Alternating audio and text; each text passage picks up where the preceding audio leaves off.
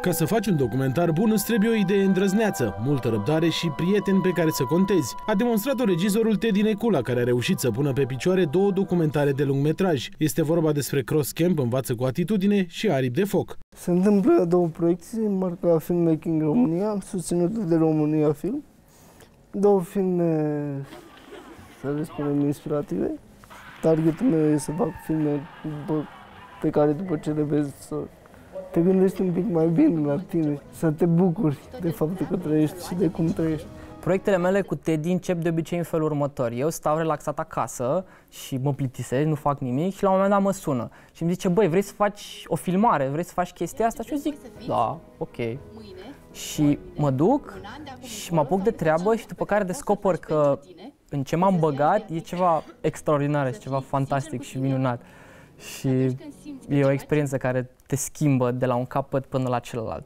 Aripi de foc este povestea 100 de oameni care au pus pe picioare primul spectacol de dans comunitar din România, numit Pasărea de Foc. Un proiect curajos, având în vedere că tinerii proveneau din toate mediile sociale și niciunul dintre ei nu știa să danseze, dar fie că erau orfani sau copii ai străzii, tineri din familii înstărite sau persoane cu deficiențe locomotorii, ei au reușit să pună la punct un spectacol de dans contemporan care a stârnit aplauze pe scenele din București și Sibiu. A fost o transformare și pentru noi, echipa de proiect, producție a filmului, după 30 de zile de stat cu oamenii te gândești un pic că ești norocos că ai părinți nea și filmul Aripi de foc este dedicat părinților mei.